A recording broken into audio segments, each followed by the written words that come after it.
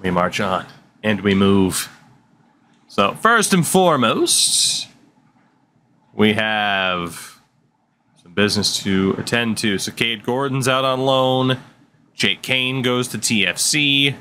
Confirmation that Darwin's back. We have our final scouting reports, first from Australia. Do we have anybody good? Harley Stevens, Will Weeks, Harrison Giles. Well, why not sign another Giles, right? So Australia was okay. We go back to India. Up Uprenda? Upendra. Upendra Muhammad. We'll sign you for the moment. Upendra. Uh, Sri Patel Bharat Roy, I'm guessing. Uh, Akhilesh Mohammed. Uh, Balaram Hussain. And there is a Kamal Gupta. We'll sign the Gupta for the moment. And it brings us to our final report from the Netherlands. Cedric Jansen, Matthias Peters, Ted Van Dyke. Steen, Steen, Stein, Simon. Go ahead and sign him. There's also Nick. Another Simon. The Simons. And that's going to be it for the Netherlands. So,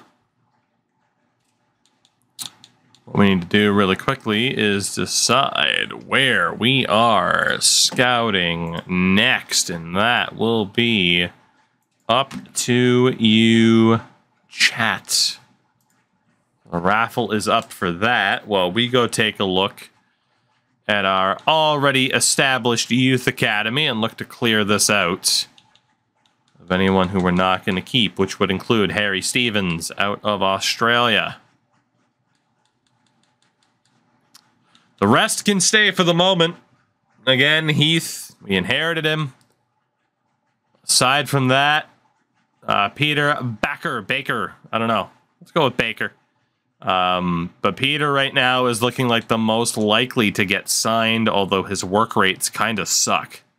Again, I'm allowed to sign one guy a year. We might just sign Heath because, like I said, he was handed to us.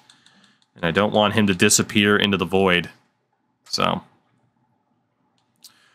Oh, uh, do players reach their full potential from training playing games more when they're young? Uh, playing games, I think, will always benefit players the most. All right, let's see where we are going next. Doug Dimmadome, owner of the Damn Damn Dim Dale Dimmadam. Where are we going, Dimmadam? Dimmadim's Dome. Doug Dimmadam. Dimmadama Dimmadome. Damn, damn, dimmadam, dimmadome, dimmadam. Germany. We go to Germany for three months. JD. You already won tonight, didn't you, JD? Yeah, you won earlier. B major. Where are we going? JD, if I'm wrong and you didn't win the one beforehand, let me know. I'll, I'll trust the honor system there. You picked Australia, I thought so. B major, where are we going? Where are we going? Pretty much name any country you want that's not in like Central America. Finland! Land of the Finns. Let's do it. And Monkey Dude 22. Where are we going, Monkus?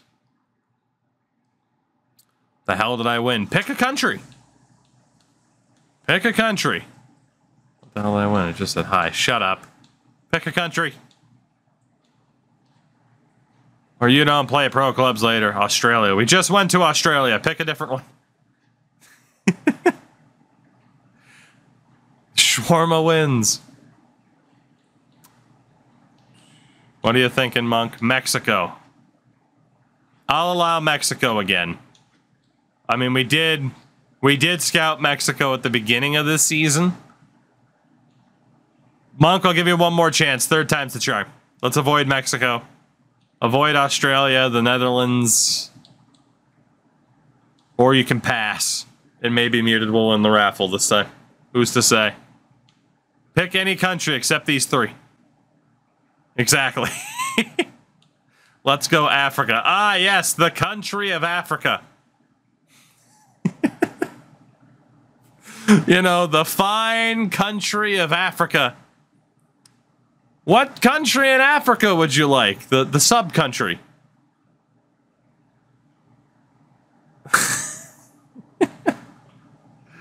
what are you looking for, monk? What are you looking for?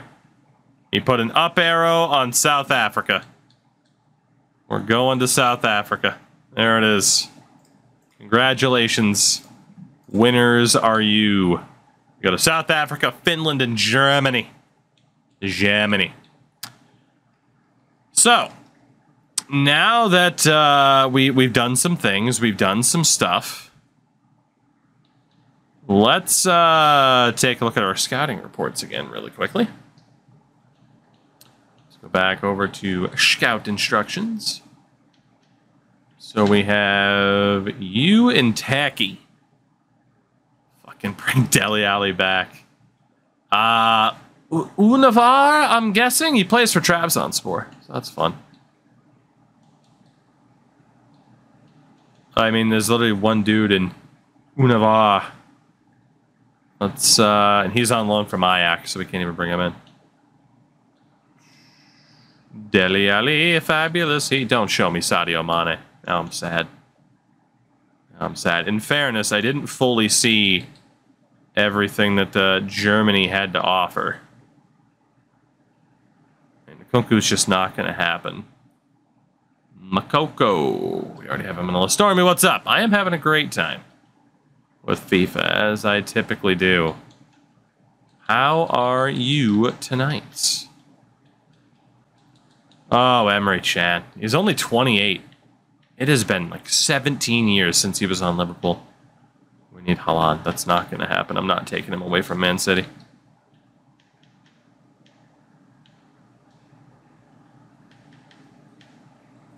Nicola Schula. All right, nobody else I really want to add to the list. And then America, uh, Marika. We haven't been there long. This would also include our Netherlands options. Ernest! Shout out to Ernest. Okay, so we really don't have too much to look at. So let's go back over to Yield Transfer Hub. And actually, before we do that, let's uh, double check Ye Old Squad Hub. Just to kind of see what we're looking at here. So goalkeeping wise, Alisson Kelleher for the rest of the year. Adrian's leaving at the end of the season, so a third choice keeper is certainly in effect. At left back, we got Robertson, we got Tsimikas. I mean, Norris is there as a project.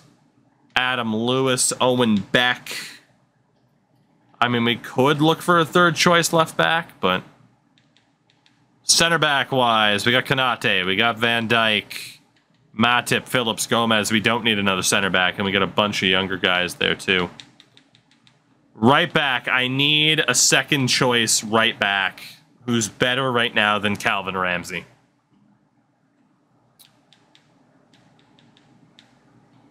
And I need a second choice CDM behind Fabinho. And then in the midfield, it is Henderson and Thiago, Keita and Ox. And I mean, I have some project midfielders in a sense that I could look for. Uh, we don't typically run a formation with the cam, but if we did, Curtis Jones is fine there. Could look for a project cam. Left wing, obviously Harvey behind Diaz, Carvalho behind Salah. And then striker-wise, we have more depth and we know what the hell to do with. All right. So with that knowledge, let's go back over to Yield Transfer Hub. So uh, we we memed about Harvey Giles because this kid stopped two penalties in the same game for Harrogate as we played them. Let's uh let's see if we can bring in Harvey Giles. He doesn't want to come to Liverpool. What? Wow. He doesn't want to move. Okay. Well then. We do need a second choice right back. Malo Gusto is uh, our best option. 13.3, 16.6. Okay, so we can. He's a Premier League goalkeeper. It makes sense. That's fair. Let's see if we can bring in the Gusto as our second choice right back to really shore up the team. So Malo Gusto. Uh, first and foremost, I don't know if I have anybody I'd even want to offer on a player swap. I mean, outside of like Milner, which wouldn't make a ton of sense. Goalkeeper wise, I mean, Adrian just became a lot more important because I can't take Giles away now. Yeah, there's really nobody that I want to move out. All right, so let's just offer the fee of uh, go 13.5 mil and see what's up there. Perfect. Well, I didn't expect that to happen, but all right, 13 mil for a second choice right back. I'm good with that. Catcher, what's up? So we're still going to have to agree with terms with the player, but I mean, this guy looks pretty damn sick. He does look pretty damn good. He's fast. I don't view Lyon as like a super top team in which to take away a top player. And I mean, again, he'll be second choice behind Trent. But he fits the bill. Malo Gusto. Let's uh, see what we can do here to bring you to Liverpool as our first transfer of the window. What do we got? The Gusto. All right, so sporadic, which is perfect. I accept that. Wants a three-year deal. Can I counter with a four? Yes, I can. No release clause, and he already named his price: eight point seven uh, or eight thousand seven hundred a week. Seventy-eight thousand dollars signing bonus for every five appearances. Forty-one thousand dollars. Okay, that's not gonna cut it. We're going to remove that bonus. That was pretty sneaky. That was pretty sneaky. Instead, I will give you a $100,000 signing bonus. Because, I mean, we have a $132 million budget right now. What do you think? All right, we have our second choice right back. Say it with gusto. It's gusto. Beautiful. All right. It's only for five appearances, not every five. It's fine. Say it with gusto. The gusto is here. Handshakes with Jurgen, who's busy on his phone. This man going through his fitness test. Look at that cut off sweater. Do the lean. It's not official until he leans. Lean on Jurgen. And that'll do. Malo Gusto! Welcome aboard for 13.5 million from Olympique Lyon. And apparently, uh, the game didn't view this as the best buy. Replace three players from the team. Well, we're not going to accomplish that goal. But, I mean, his value and the asking price, I mean, stronger negotiation skills could have saved you 3 million on this. How? This really? You're saying I could have stayed? I could have gotten him for ten? Really? Interesting. Well, it's fine. I mean, yeah, he's not good enough to be the starter to replace Trent, but that wasn't my intention. But there we go. We have brought in the Gusto. Now, uh, I don't really know. I don't think we're going to be able to bring in Harvey Giles, at least yet, obviously. He doesn't want to leave. which is pretty damn funny. Uh, is there a third choice project left back? There is not. And again, in terms of center back, based off of our current business, there's uh, pretty much nothing we have to do there. We can leave these guys on the short list for now. So left back and goalkeeper, we're not really going to be able to accomplish those goals for now. Uh, a second choice CDM. It could be another signing from Lyon. Johann Lepenant. Who um, doesn't have the best work rates in the world.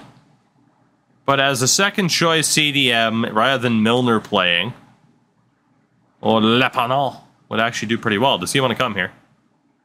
We have a chance of a deal around 5.1 million. All right, cool. They're willing to negotiate too. Let's keep bringing in the French. It's all about the French. I'm turning Lyon into a feeder club.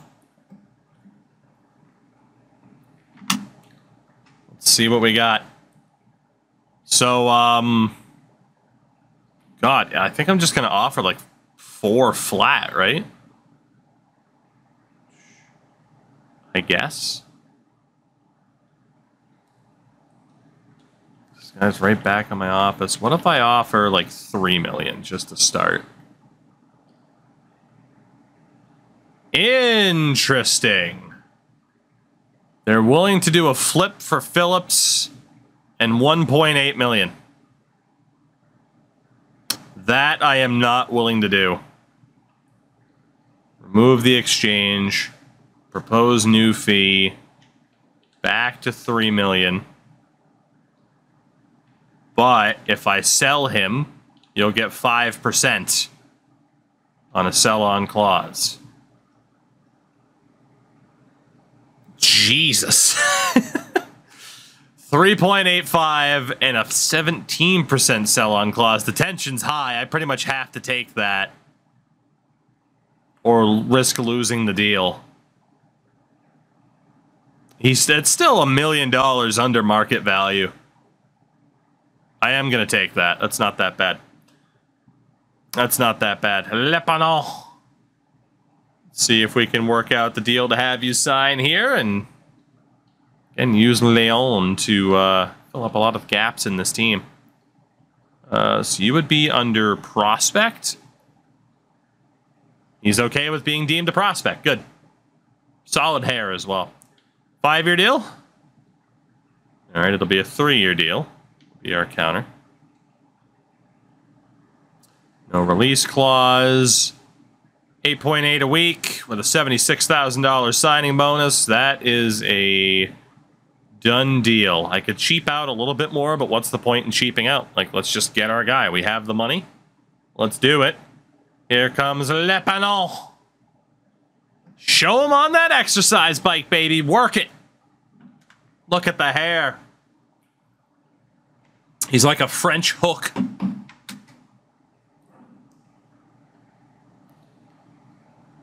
Look at the flow. Working hard or hardly working?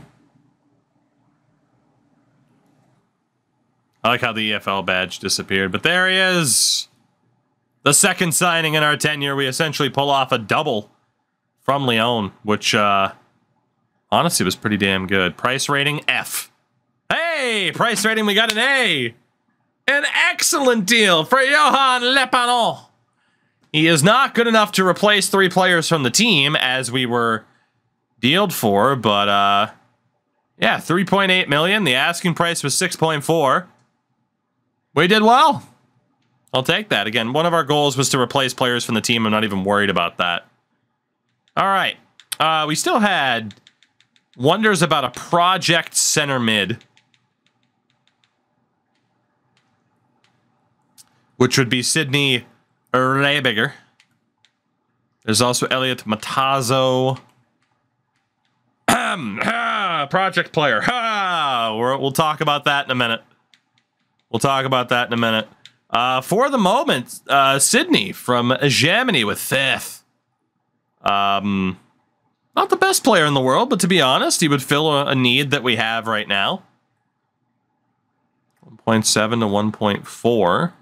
Let's see if uh, he's what we need before uh, we try to see if a big deal can go through. Let's see. So, Sidney. I'm going to go for like 900k and see if he just gets pissed. Interesting. James Norris. 740k. I'm going to counter that. Let's propose a new fee of 1.1 plus the 5% sell on clause. Done deal. All right, sweet. So still 1.1, 5% sell on clause isn't that bad. That's not going to kill us, but it'll help them out again down the road. All right, Sidney, can we work out this deal? Can we work out this deal, sir? Look at look at this young man. Dressed to the nines. He knows how important this meeting is. All right, so you would obviously be a prospect. Look at these pastries. Nuge, what's happening? You about ready for some pro clubs in a little bit? Uh, five-year deal for Sidney Raebiger. It'll be a four-year deal instead. 4K pastries. No release clause. Wants $600 a week and a $5,000 signing bonus. Done deal. We do bring in our project center mid. Sidney. Beautiful. So right now, we're pretty much filling up the, the holes in this team in terms of the depth. Sidney, welcome to Liverpool. Now get on the bicycle. It's kind of shitty. It's the same thing every time. At least for prospects. If it's a huge signing, maybe it looks different. Because Jurgen barely gives him the time of day. maybe if it's a big signing, it's something different. Work it, baby. Work it. Work that bike. That's right. Sidney, welcome aboard. We are using the Youth Academy as well, but not a ton. That is our third transfer of the day. Kind of filling gaps with some younger players. Price rating, another A. That's right. That's right, son. Master negotiator. 1.1 million. Player value was 1.5. They wanted 1.7. Fantastic. Oh my god. Uh, so the only other thing I was really looking forward to was a Project Cam in which there is no such thing that we have currently scouted. Which means we can now kind of look at some other things. Um, Ivan Toney I had as a free kick specialist. We can drop him. Um, Rodrigo Ribeiro is young enough. We keep him on the list. Let's get rid of Ramos. Let's get rid of Evanilson. Um, Tell will be fine with. Ender enjoy work uh, honestly, for the moment, I am cool with pretty much removing everybody from our shortlist.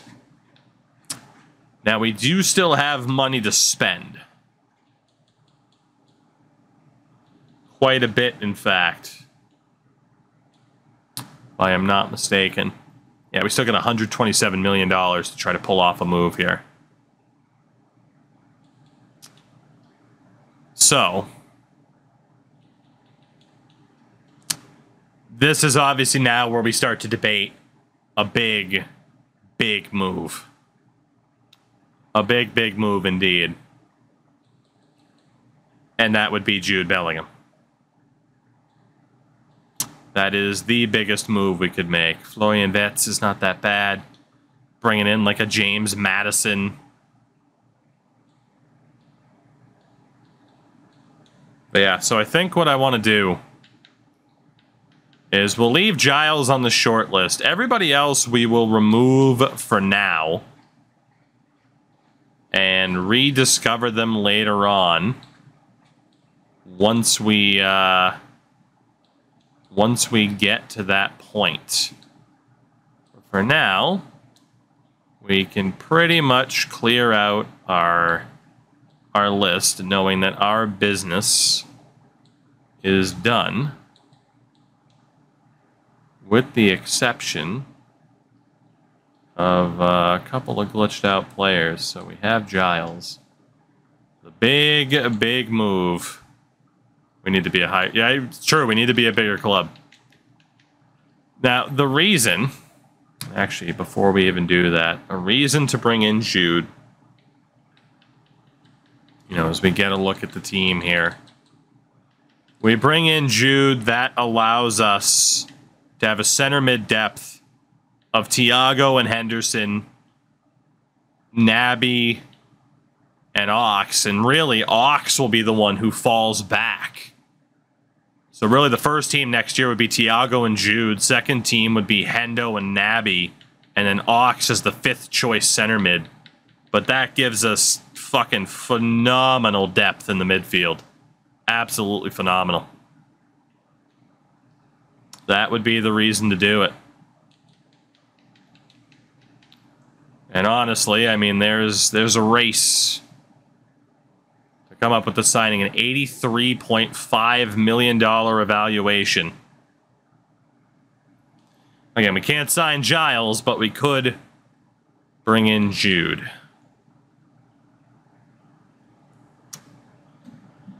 Whew. So the asking price is 115.7 mil. 92.6 mil might apparently go through. Can we secure the gigantic signing of bringing in Jude Bellingham, the Bellingham from Dortmund? Which, uh, apparently I'm negotiating with fucking 1980s Bon Jovi. Look for a better third team keeper. Well, I have my third team keeper in mind, but uh, he doesn't want to come here because we're not a big enough team. Um, in terms of a player swap, again, there's nothing that I really want to do, or nobody that I really want to part with. This could be the right time to move on from Firmino to work out a deal like this, I would have to spend the rest of the month trying to find a young third choice striker. But this could be the time. I also need to factor in that Curtis Jones is a factor in this situation. So, I mean, Fabinho at CDM alongside Lepenant you got Thiago and Jude, Naby and Hendo. Really leaves no room for Curtis Jones. Not to mention getting rid of Ox. This could also be the right time to move on from Naby, who's 27. Because I want Hendo to shore things up for the second team as a, as a veteran leader. But we need to make sure that there's room for Curtis Jones. So now would be the right time, I think. We just re-signed Naby, but now would be the right time to flip him over to Dortmund. He gets a fresh start there. We get that 33 million, and then we try to scout out a striker for the rest of the month to uh, move on from Firmino if we can. That's a bit of a tough call, though.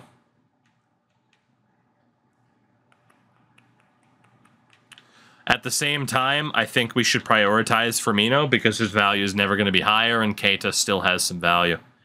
So I absolutely love Bobby, but I mean, the rumors of him leaving are already there in real life at this point.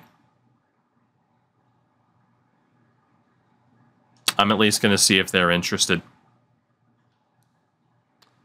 I'm at least going to see if they're interested.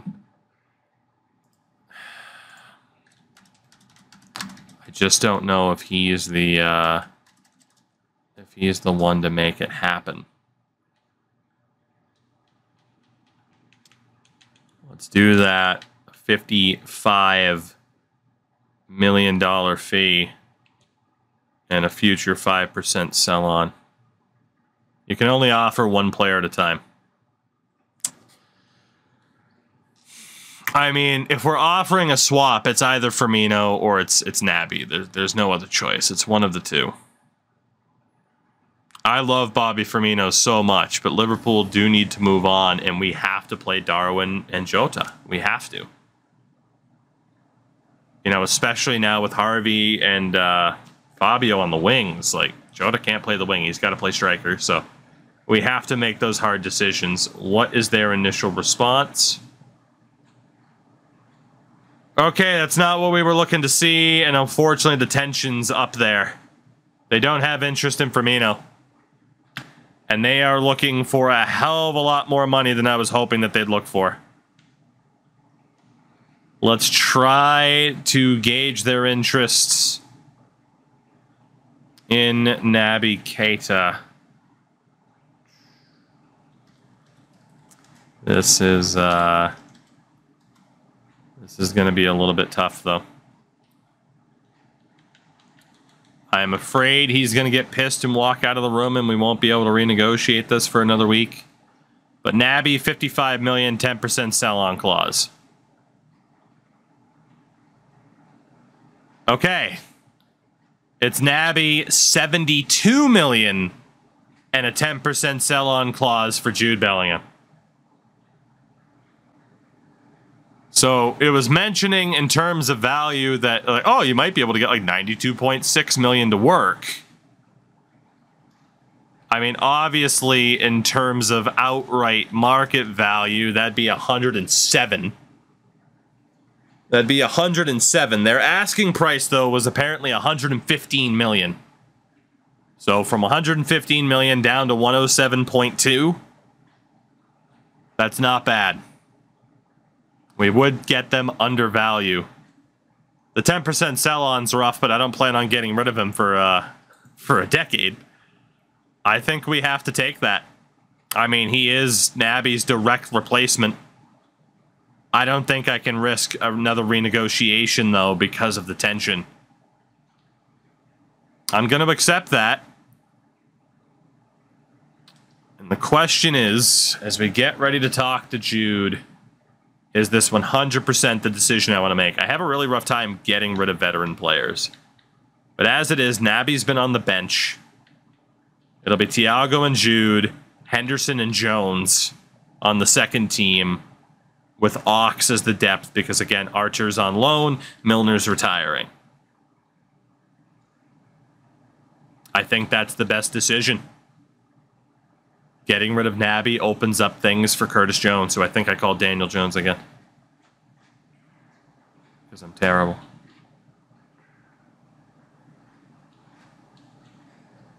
Let's see if we can lock this deal down. Can we get the big signing that might be uh, a little bit a little bit telegraphed in terms of of course that's the big move you make with the Liverpool franchise or Liverpool career mode but he wants to be under an important role. That's fine because to be honest he should be in a crucial and I could offer him a crucial but we'll take important. Five year deal perfect no release clause, but how much is he getting paid? He's going from 8K a week. Let's go up to like 25 with a $100,000 signing bonus. And see what he thinks. It was a little bit predictable, but it is a done deal. Liverpool bringing in Jude Bellingham from Dortmund, trying to will this into reality. Please. But we do what we have to do. Even Jude's going to get the same goddamn treatment. Jurgen's going to show up for half a second. Hey, how you doing? And that's it. But that uh, certainly puts us on our path. Like, that's a big, big money signing.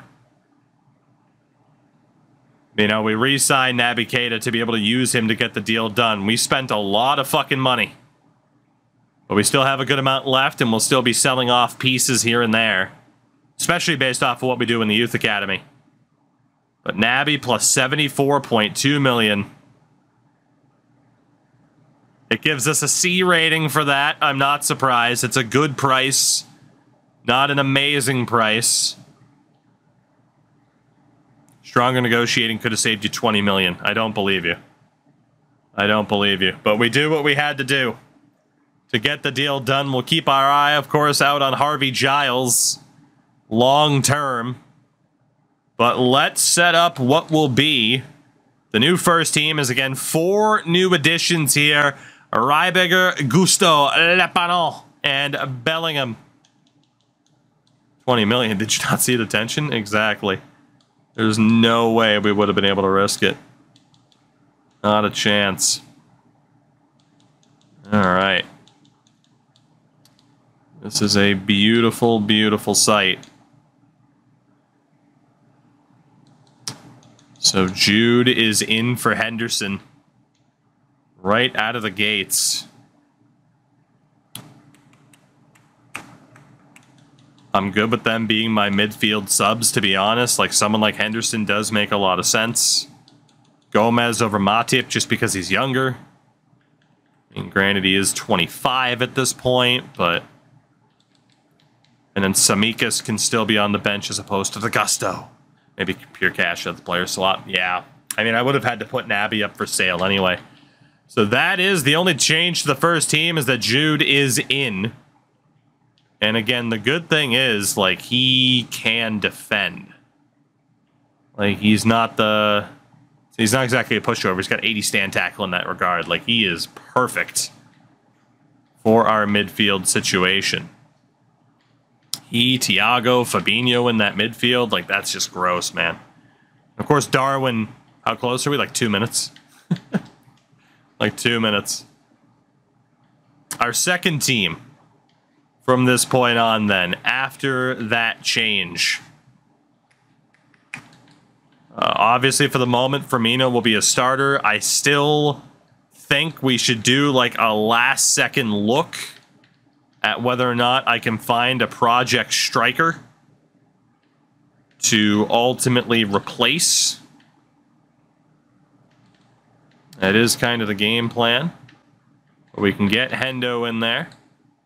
We can get Jones in there. Lepenant as our CDM, which means off the bench for the rest of uh, this season. Ox, Arthur, and Milner. Although, to be honest, I might just move on from, from Arthur at this stage. Either that or we move on from Milner. But I want Raebiger to be on the bench. We might even try to immediately loan him out. So this might still change a little bit. But for the most part, the, uh, the vision has, you know, the visions come together here. Matip, and then instead of Ramsay, we have the Gusto. We got Phillips. We got Ramsay. It's not that bad. That second team, too, is looking pretty damn good. I'm I'm happy with that. I'm very very happy with that. I think the last thing that we'll do just to make sure that we don't forget is to uh, go over to our scouting instructions. And now we know that we can directly look specifically for promising young strikers that we could uh, bring into the team here. We'll also have center forward. And we'll, uh, we'll be good to go in that regard, as Twitch is damn well determined to take down this stream. Honestly, goalkeeper-wise, too, we could look for another young goalkeeper for now. I still think I would prefer I still think I would prefer it to be Giles for the memes. However, I don't know if that's going to happen. So we got England, Spain, Italy, France. Let's go back over to Germany and uh, double check about young German goalkeepers there, and we'll stay in the U.S. as well. So that was just day one of the uh, the transfer window being open. That is a good bit of business. I'm feeling pretty damn optimistic about this team. And I mean, especially, too, we are currently in first in League Two. At this stage, We're 14 points up on Manchester United in terms of being on the outside looking in for at least having a shot at moving up to League Two halfway through the season. Or League One, that is. So I uh I think we're looking good.